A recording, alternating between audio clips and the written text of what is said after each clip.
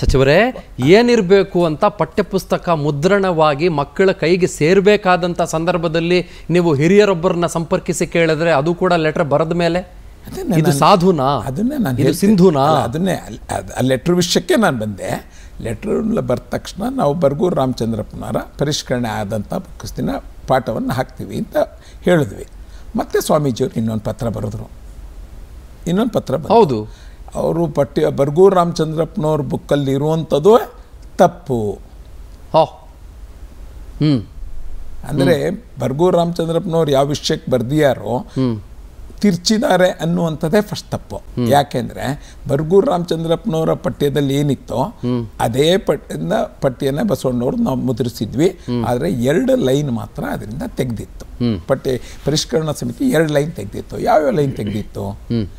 ಬರ್ಗೂರು ರಾಮಚಂದ್ರಪ್ಪನವ್ರದರಲ್ಲಿ ಉಪನಯನದ ನಂತರ ಜನವಾರವನ್ನು ಕಿತ್ತೆಸಿದು ಇದು ತ್ಯಜಿಸಿ ಕಿತ್ತೆಸಿದು ಕೂಡಲ ಸಂಗಮಕ್ಕೆ ಹೋದರು.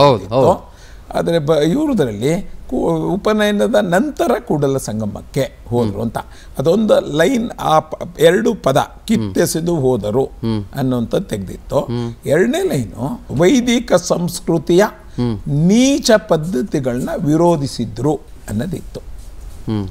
ಅಂದರೆ ಬರ್ಗೂರು ರಾಮಚಂದ್ರಪ್ಪನವರ ಪಾಠದಲ್ಲಿ ಇದ್ದಿದ್ದು ನಮ್ಮ ಪಠ ಈಗ ಈ ಪರಿಷ್ಕರಣೆ ಮಾಡಿದಂಥವರ ಪಾಠದಲ್ಲಿ ಇದ್ದಿದ್ದು ವ್ಯತ್ಯಾಸ ಏನು ಅಂದರೆ ಎರಡೇ. ಉಪನಯನದ ನಂತರ ಜನವಾರ ಕಿತ್ತಾಕೋದ್ರು ಅನ್ನುವಂಥದ್ದನ್ನ ಜನವಾರ ಕಿತ್ತಾಕೋದ್ರು ಅಂತ ಎರಡು ಪದ ತೆಗೆದಿದ್ರು. ಕೆಳಗಡೆ ವೈದಿಕ ಸಂಸ್ಕೃತಿಗಳ ಇದು ನೀಚ ಅನ್ನುವಂಥ ಶಬ್ದ ಅವರು ಉಪಯೋಗಿಸಿದ್ರು. ಓಕೆ. ನೀಚ ಪದ್ಧತಿಗಳು ಅನ್ನೋದನ್ನ ತೆಗೆದಿದ್ರು ಇವರು. ಇವ್ರನ್ನ ಕೇಳಿದಾಗ ಹೇಳಿದ್ರು ಬಸವಣ್ಣವರು ವಿರೋಧ ಮಾಡೋದಕ್ಕಿಂತ ಇರುವಂಥ ಪದ್ಧತಿ ಹಿಂದೂ ಸಂ ಪದ ಇದರಲ್ಲಿ ಯಾವ್ಯಾವುದಕ್ಕೆ ಪದ್ಧತಿ ಕೆಟ್ಟ ಪದ್ಧತಿಗಳನ್ನು ಅದನ್ನು ಸರಿ ಮಾಡೋದಕ್ಕೋಸ್ಕರ ಬಸವಣ್ಣ ಹೋಗೋದು ಬಸವಣ್ಣವ್ರು ಪಾಸಿಟಿವ್ ಇದ್ದರು ನೆಗೆಟಿವ್ ಇತ್ತಿಲ್ಲ ಅಂತ ಪರಿಷ್ಕರಣಾ ಸಮಿತಿಯವರು ನಮಗೆ